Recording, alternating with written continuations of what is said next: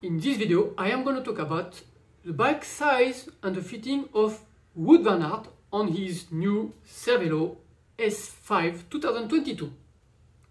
My name is Micka. I write a homepage called dmcx.com where I review all, oh, as much as I can, the pro bikes, size and fitting. Uh, because I'm, I'm kind of like nerdy, I like to watch the race and I like to know what the pro are racing on and with what and how and, and and this lead me to to write a blog about it. Right.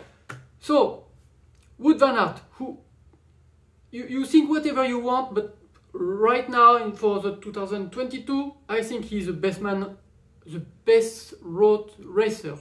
He, he's he's um he's able to race to to win on any type of race, right? He's like the sprint. He can outsprint a lot of sprinters actually even he is not a pure sprinter, he can climb the mountain and he can win stage like last year, uh, the year 2021 Tour de France, winning massive uh, mountain stage, and then winning the time trial also. If you have Wout van Aert in your team, you know you're gonna win some race somehow. He, he's uh, just amazing. Right. So in this video, uh, I don't want to waste anybody's time.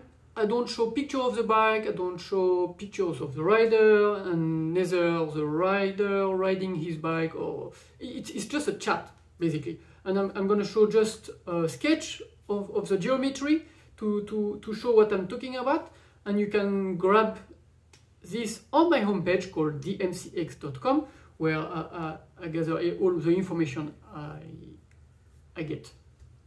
Right, let's go to the size. Wout van Aert is racing on the size 56 Cervelo S5. I'm talking about the S5 today, uh, even though the team has access to three models of Cervelo, the S5, the R5 and the P5. The P5 is for, for the time trial, the R5 is for the mountain stage, and then the S5 is for the sprinters or like strong and powerful riders for, for the flat course or hilly, but not really for like pure mountain climbing. So actually, I'm talking about the S5 of the year 2022, which been raced for the first time by the team on the Paris-Nice 2022. The, the, the frame is slightly, it's, it is an evolution compared than the previous model. And how you can spot this? You look at the top tube junction with the seat tube. The new model, if you look at it, well, basically you just Google, you go Paris 2022, you look at the jumbo team, the whole team race on the new model. And how you can spot that is by looking at the top tube junction with the seat tube. Instead of a smooth, round connection between the two, the, the top and the seat tube, it is now uh, a more angular there is a top tube catching up with a, with a strong uh, reinforcement uh, before catching the, the, the down uh, the seat tube. And, and it looks now more like a kind of like one piece of hexagon basically. It's like three three straight line. One two three. Instead of doing like a smooth round corner. So don't look at my sketch because my sketch is I couldn't get I couldn't do that straight line between those two tubes but the, the, my, my sketch is referring to the new sizing. Now the team is racing on the new model, and this is a size 56 for Wout van Aert. Wout van Aert is a 1 meter 90 tall, so it is basically um, like a lot of pro riders is they are riding they are racing with one size down than what would the local store recommend you to to, to ride and the, the, reason is because uh, pro riders need to find uh, uh, the sweet spot of their fitting on, on their bike. And it's, it is easier with a smaller frame because they can adjust, they can play more with the stem length and the seat post height and force and back of the saddle. So here we are with the size 56. The saddle height measure from the saddle, uh, from the center of the bottom bracket to the top of the saddle is 790 millimeters. The seat post, which is uh, Cervelo branded original design, a seat post, it's a zero millimeters setback for Wout Van Aert bike. And the saddle is set at 102 millimeter setback. This is this means the measure from the front of the saddle to the virtual axle of the bottom bracket. 102 millimeters, which is uh, within the UCI regulation of uh, the saddle. The front of the saddle cannot be uh, uh, less than 5 centimeter or 50 millimeter. Now, the distance between the front of the saddle to the axle, the axle of the handlebar is 620 millimeters.